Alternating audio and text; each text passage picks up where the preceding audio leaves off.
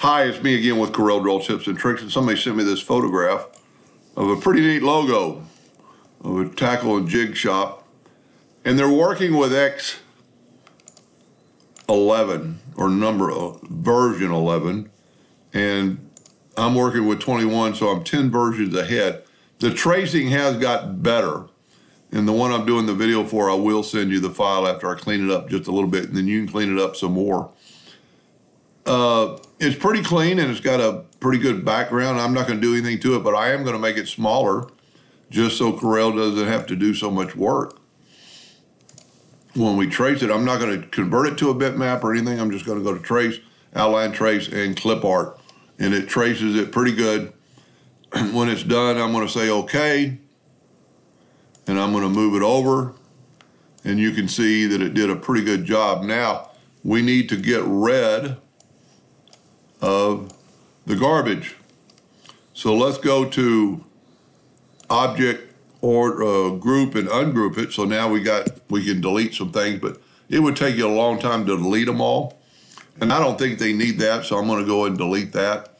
But then I'm gonna select the whole thing and the uh, trace is better and also the probably the find and replace is better uh, you really need to think about upgrading if you do a lot of work. But I'm going to select the black, and then I'm going to say from selection, and then I'm going to grab it all, and I'm going to go current page, I'm going to go find all.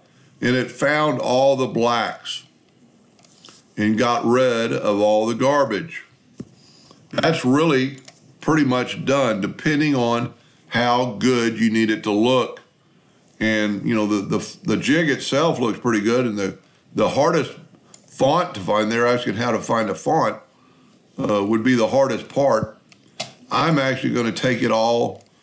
I'm going to get rid of this, and I'm going to go uh, left click, no fill, right click, outline, and it's a hairline, but they're so thick.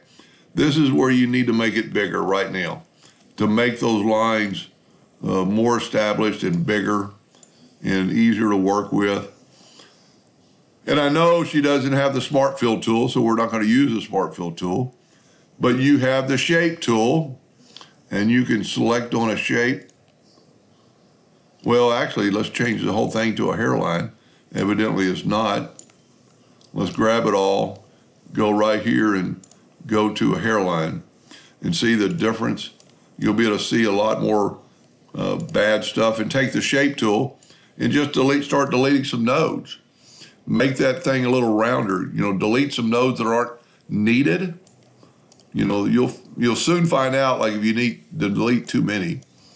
But that looks pretty good, and you could now if you when you do upgrade someday the smoothing tool, which you do not have yet, it started in X7, will really do a really good job on smoothing this stuff out. And I'll smooth this out for you and send it back to you.